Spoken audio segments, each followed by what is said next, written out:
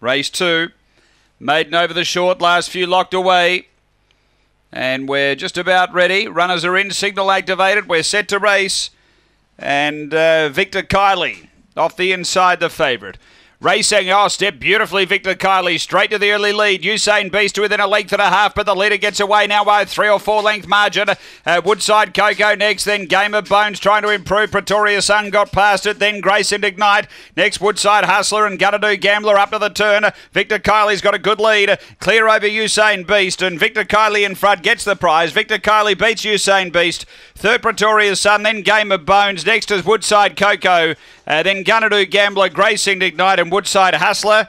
The run here is 22 and 96 after the running of race number two. And uh, numbers, they are 1, 8, 3 and 4. Number 1, Victor Kiley, Mick Giniotis, uh, R&J Shadow, uh, Black Bitch, August 2016, El Grand Senor, Victor Victoria, number 1. Second, going the way of 8, uh, which is Usain Beast, Ben Rawlings, a Black Dog, July 2016, killed, Kilty Lad Mighty Chaos.